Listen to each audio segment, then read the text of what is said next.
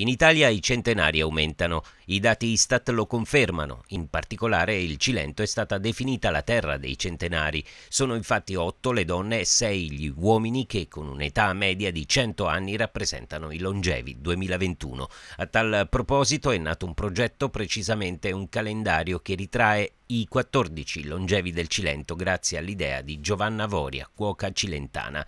Tra i centenari vi è il cittadino agropolese Luigi Siano, originario di Eredita, frazione di Ogliastro Cilento, il quale il 22 marzo ha festeggiato i suoi 107 anni.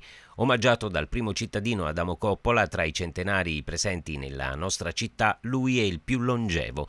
Mi ha raccontato che nella sua lunga vita tre sono le cose che non ha mai dimenticato: la patria, l'amicizia e il primo amore.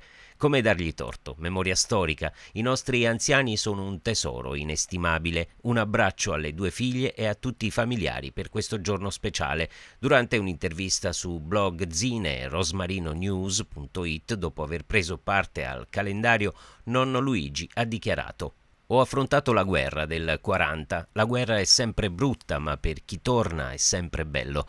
Conobbi anche una ragazza di nome Maria Teresa, una bella ragazza, e me ne innamorai.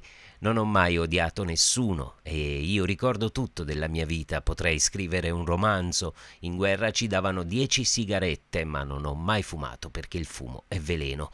Alla domanda qual è il segreto per vivere bene a lungo, Luigi ha risposto facendomi sempre gli affari miei e mangiando bene, senza ubriacarmi, ma mangiando bene, maccaroni e carne. Diversi gli studiosi che si sono recati nel Cilento per studiare lo stile di vita, comune solo a poche altre aree del mondo. Ricordiamo senz'altro Ansel Keys e Jeremia Stamler, ma non sono stati gli unici e chissà questa aspettativa di vita ci permetterà anche in futuro di riconoscere una longevità di cui andar fieri.